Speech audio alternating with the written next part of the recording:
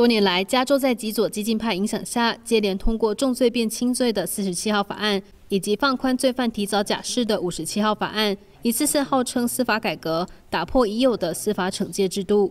这些改革都主张施暴者的权益与公正，声称为有色人种争取权益，不被过度判刑，但对受害者几乎不闻不问。That's all the black and brown people here.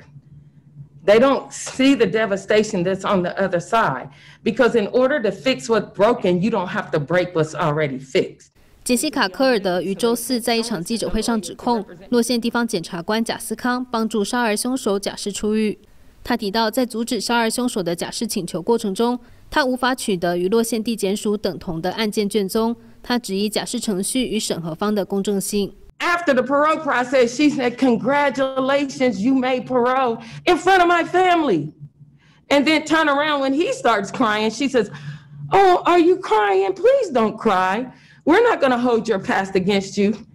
In front of my family, as if to say my son meant nothing. 科尔德的儿子在二零零九年四月十七日参加派对时，被十多人群殴、用刀枪等伤害致死，施暴者被定罪判刑。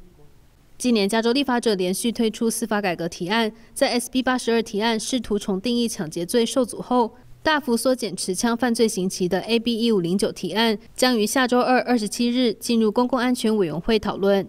AB one five o nine, if approved, will reduce by about ninety percent the potential punishment of a criminal using a firearm to commit crime or to hurt or kill the others. It would release a large percentage of the inmates related to gun violence.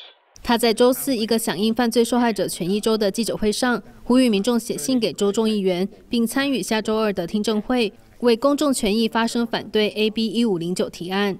新唐人记者王姿义洛杉矶采访报道。